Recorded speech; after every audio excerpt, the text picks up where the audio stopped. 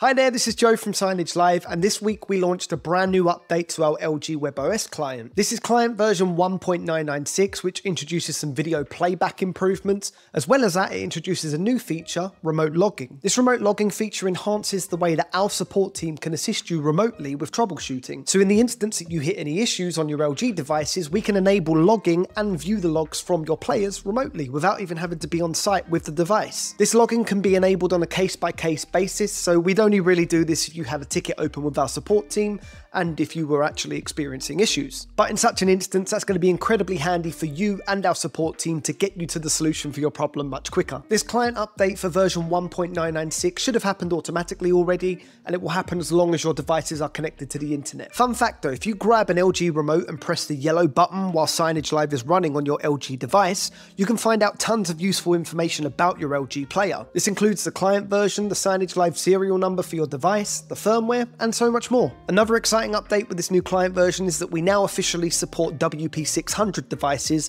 which are external media players from the LG WebOS family. We've had a lot of customers waiting on these, so we're thrilled to finally support these. I've been testing this guy myself this morning, and I must say that I am really impressed. LG are, of course, widely known for their system on chip devices, but now that they've got an external media player, and this isn't a new thing, they've had external media players for a while, but this is a great addition to the LG WebOS family because it means that you can connect these devices to any screen that you want, and you're not locked to an LG screen in particular. In addition to this, these devices support Ultra HD 4K video playback, gapless video and image playback, and installing Signagelive on them couldn't be easier. Anyway, that's all I have for you this week. I hope you enjoyed this video. If you have any questions, do get in touch with us, and you can find out more information about using Signagelive on LG WebOS devices over on our Help Centre. I'll put a link here somewhere on screen for you. Thanks for watching, and I'll see you on the next one.